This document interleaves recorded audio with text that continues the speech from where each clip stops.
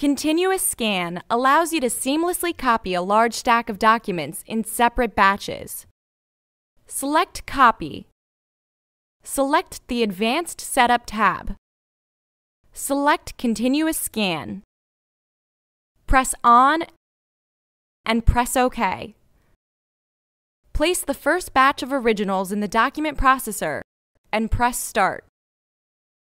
When prompted by the device, place the next batch of originals in the document processor and press Start. When all of the desired documents have gone through, select Finish Scan, and the device will begin producing the full copied output.